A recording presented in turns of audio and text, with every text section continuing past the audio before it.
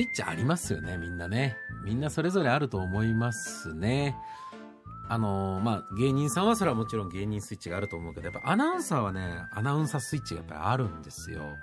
あの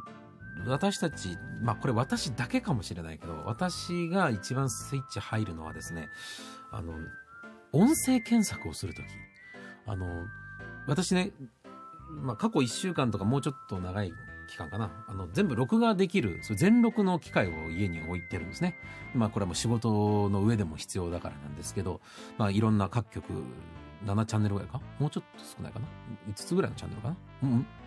どうだろう？まあ、いくつかのチャンネルがあるんです。7つか。7つのチャンネルがあって。で、それ全部1週間以上わーっと録画できるんですけど、それの検索をするときはリモコンにマイクがついてて、マイクのボタンがあって、それを押して、チチンプイプイとか言うんですよ。有吉の壁とかって言ったらこう、ね、文字がパッと出て、それで検索かけてくるんですけど、この時に、誤認識をされることがあるわけですね。で、その、違う文字がババッとこう出ちゃったりとかすることがあるわけですよね。うん。有吉って言ってんのになんか、漁師とか出て全然違うじゃんみたいな時があるわけです。それはもう一番腹が立つわけ。こっちはやっぱもうマイクの前で喋るのが仕事だから。だからもうここぞとばかりにものすごくいい声で、有吉とかね、言うんですよ。うん。霜降り明星とかって言ってやるんですよ。のど自慢とかって言って検索をするっていうね。歌コンとかって言ってやるんですね。そういうのがまあ全部ごめんなさい。よその曲ばっかりで申し訳ないんだけど。それを私はやるのが、まあアナウンサー病かなと思ったりもするんですね。で、これはあとは、あの、居酒屋の予約をするときとかね。ま最近あんまないけど、居酒屋の予約をするとき電話かけて、あ、もしもしって言って、じゃあ、あの、何時から、何月何時何時からお願いします。はい。では、電話番号お願いしますって言われた時には、絶対に090とは言わないですね。080って言いますね。本当に、あれはなんでですかね。なんかどっかで言わなきゃいけないような気がしてね。080って言うんですよね。0と8はこれね、0は英語でしょ ?8 っていうのはこれは、あの、日本のね、古くからの数字の言い方だから、これは共存、共存するのは良くないから、えー、080って言わなきゃいけないっていうふうに習ってるもんだから、もう080とは言わないっていうのはなんかあるんですよね、自分の中で。あとタクシーに乗っていて、あのー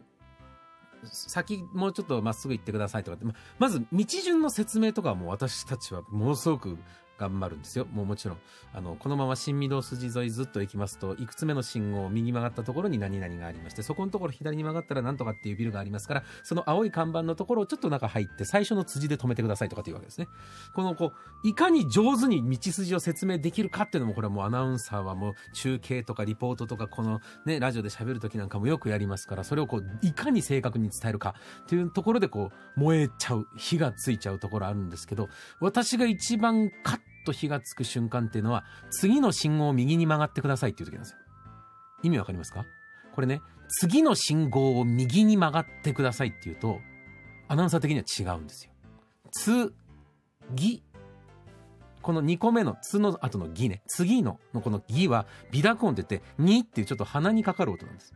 次の信号ではなく、信号を右に曲がってくださいってこれ4つ入ってるんですよね。で、この全ての微濁音をきれいに言えるかどうかっていうのを自分の中でちゃんと試すっていう。もちろん運転手さんは気にしませんよ、そんなこと。だけど、次の信号を右に曲がってくださいっていう、こう、さらっと微濁音使ってる自分、あ、かっこいいなって思うわけですね。こう、ここでこう、アナウンサースイッチ入っちゃうみたいな。あるでしょやっぱみんなそれぞれ、あるんじゃないですか？やっぱこう、ね、普段レジ打ちしてたりとか、接客業してる人たちは、ね、やっぱあのバザーの時とか頑張っちゃうでしょちょっとね。多分そういうのあると思いますけどね。接客業、お店で接客業やってる方は、多分、なんかこう、法事の時とかも妙にね、こう、来客とのやりとりとかを率先してやったりとかするでしょ。電気工事関係の人は、ビデオの配線とかがちょっと私得意じゃないのよね、とかいう女性の前ではもう腕ブンブン振るうでしょ、多分ね。そういうのはあるんじゃないかというふうに思いますよね。やっぱみんなちょっとでも自分のこう得意分野だと思うと火がつくっていうのがあったりしますよね。ちょっと最近あの、なんか頭痛くてみたいなことを言った時の薬剤師とかお医者さんの友達のもう火のつき具合ってすごいですもんね。やっぱもう、ものすごく教えてくれますもんね。うん、面白いもんですよね。俳優さんなんかもインタビュー受けるときはもう俳優モード入ってますもんね。なんだろうってめちゃくちゃ言いますもんね。なんかもう、あの、どういうお気持ちで今回のお芝居されたんですか？とかで聞いたら、うん、なんだろう。まあ、その、僕自身が、なんだろう、その、学生の時によく、なんだろう、その、一番好きだった女の子がいて、なんかその子に、なんだろう、こう言えない言葉があって、その時の気持ちを、なんだろう、なんだろう、なんだろうってずっと言ってる人いますよね。ほんと、鉄腕と友かみたいな。なんでだろう、なんでだろうみたいな。ずっとなんだろう、なんだろうって言ってる人いますよね。あれなんでしょうね。だからあの、本当アナウンサーでも、ラジオで喋ってちょっと格好つけた喋りをするとき、あの、相談に乗るとき、あの、私こういうので悩んでますというときに、なんだろうっていう人いますよね。